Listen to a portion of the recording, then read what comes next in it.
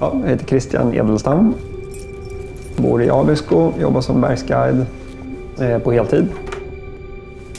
En av de delarna jag verkligen gillar med att bo i Abisko är att man är nära fjällen. Så att jag kan ju ta cykeln, i princip med skidorna på ryggen, bort, eh, ja, delvis bort till Nolja, här, vårt hemmafjäll. Eller ta bara isklätterryggan och, och cykla iväg. Kanske det mest minnesvärda äventyret jag gjort är ju när jag korsade Grönland 97, så det var 20 år sedan.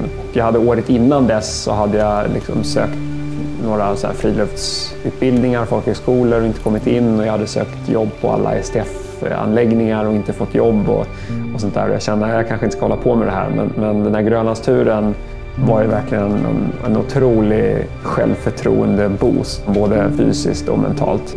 För det hade varit ganska tragglande liksom innan sådär, man hade svårt att hitta klätterkompisar. Och, men där plötsligt så kände jag liksom också att, att ja, fan, det, det går ju det här. Liksom.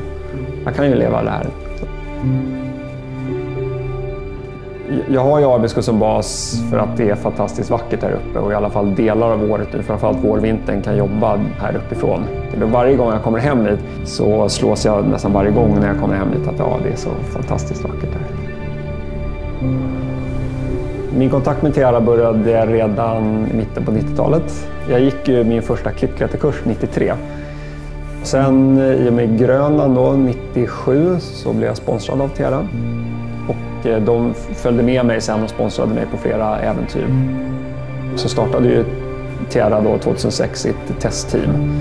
Och då frågade, frågade Tiara bland annat mig då om jag ville vara med i det.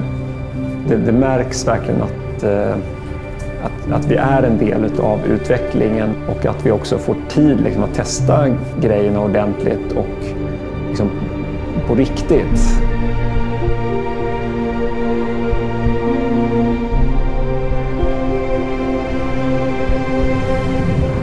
Rent fysiskt, liksom, att få vara ute och andas frisk luft, att få röra på sig, få endorfiner, vara ute med kompisar.